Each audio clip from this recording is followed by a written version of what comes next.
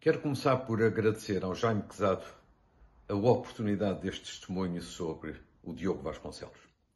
Fui durante muitos anos amigo do Diogo. Conhecemos quando ele era estudante universitário e eu já era então governante na República. E consolidamos ao longo de anos a nossa relação de intimidade e de amizade. Sempre tive pelo Diogo uma admiração profunda. Primeiro pela sua simpatia desarmante.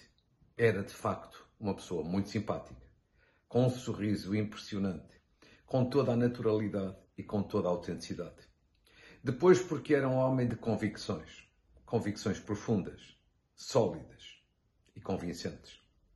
Em terceiro lugar, porque, sendo uma pessoa de convicções fortes, tinha todavia um enorme respeito pelas convicções dos outros. Um respeito que impressionava.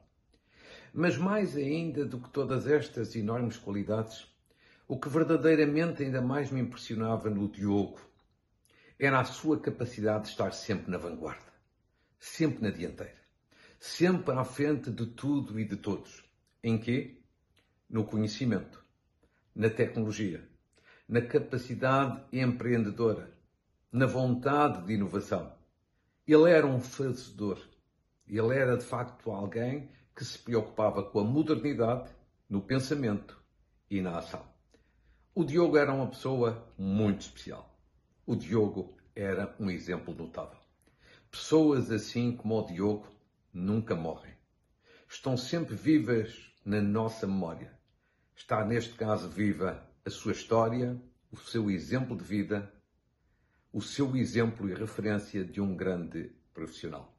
Para o Diogo, onde quer que ele esteja, um grande abraço, cheio de saudades.